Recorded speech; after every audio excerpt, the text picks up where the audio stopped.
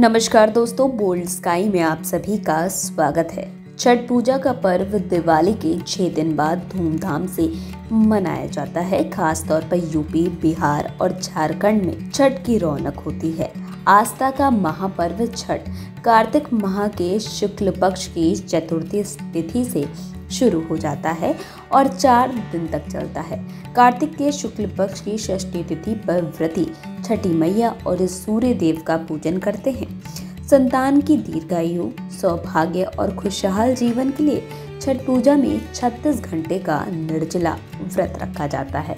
छठ पूजा के दूसरे दिन खरना किया जाता है। आइए आपको बताते हैं कि खरना वाले दिन क्या करना चाहिए। क्या नहीं करना चाहिए? खरना के दिन नमक युक्त भोजन नहीं किया जाता। इस दिन सिर्फ़ एक समय गुड़ की खीर बिना नमक की पूड़ी का ही सेवन किया जाता है। व्रती इसके बाद 36 घंटे का निर्जला व्रत रखती हैं। बता दें कि सूर्य देव को अर्घ देने वाला पात्र तांबे या पीतल का हो। सूर्य को कभी भी स्टील, चांदी, प्लास्टिक, कांच के पात्र में जल नहीं देना चाहिए। व्रत रख रही महिलाओं को व्रत के दौरान बेड या चारपाई पर नहीं सोना चाहिए। वो फर्श या दरी या चादर बिछाकर सोएँ। छठ पूजा का प्रसाद चूल्हे पर बनाएँ और इसे ऐसी जगह पर बनाएँ जहाँ डेली का खाना ना बनता हो। छठ पूजा के दौरान नशा न करें।